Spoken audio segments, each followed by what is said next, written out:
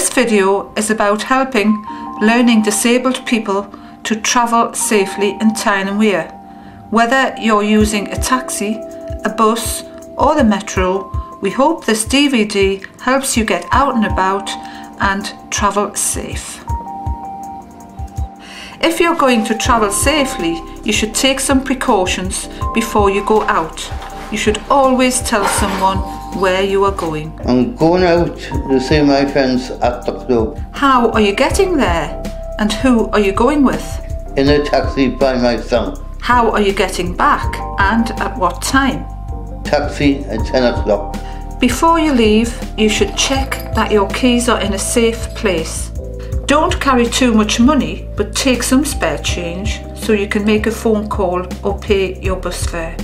You should always carry a list of useful phone numbers. These might be your parent, carer, day centre, college or work. If you have a mobile phone, make sure it's charged and has enough credit to make a call. If you're travelling by taxi, use a service you know or one recommended by someone you trust. Oh, Hello, Eric.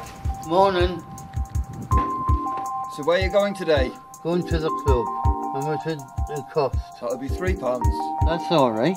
You should always check how much the journey will cost and make sure you have booked your return journey. If you are travelling by bus, you will need to know where the nearest bus stop is, what number bus you need to catch, and where to get on and off.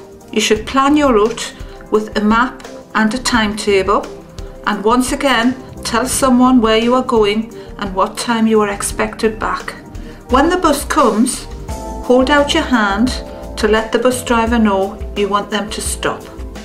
You should have your bus pass or money ready before the bus arrives. This helps the driver keep on time.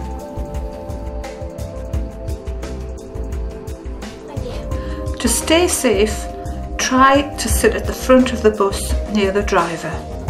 Some buses have a space for people who use a wheelchair or have a pram. You can sit here, but if someone gets on the bus who needs this space, you will have to move.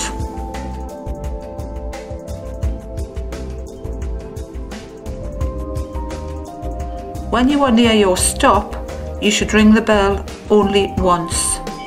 The bus stopping sign will light up, but stay in your seat until the bus has stopped.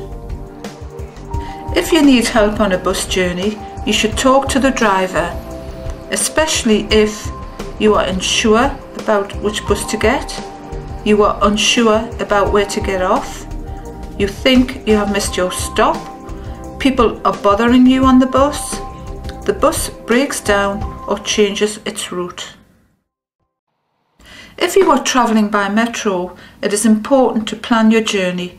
Tell someone where you are going and make sure you have everything you need. When you reach the station, you will need to know what time your metro will arrive and what platform it will arrive at. If you are not sure about anything, ask a staff member on the platform for help or go to a help point. Get your ticket at the machine before you get on the metro. Always stand well back from the edge of the platform and listen carefully for announcements. These might be about delays or changes to the service. When you get on, look around before you choose your seat. If possible, sit near other people. Try and sit near an emergency button